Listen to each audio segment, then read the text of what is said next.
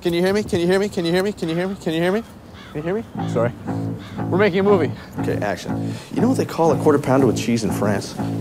They don't call it a quarter pounder with cheese? No, you idiot. I should be doing this whole thing as Bane.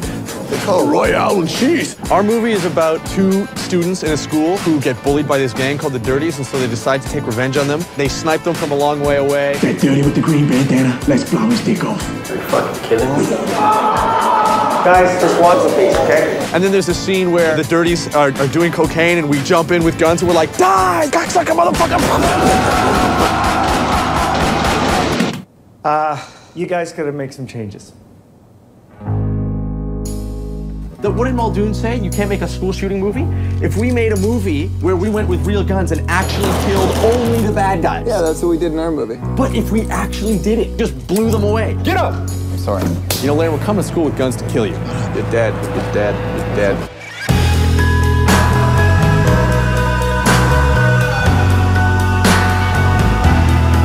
What, what are those? The blueprints of the school. And I've got them all marked off. Like what each room is for and like who uses each room and when.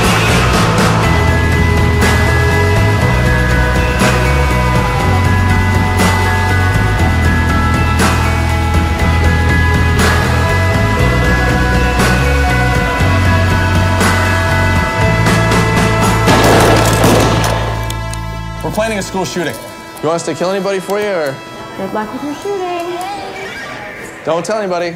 I won't.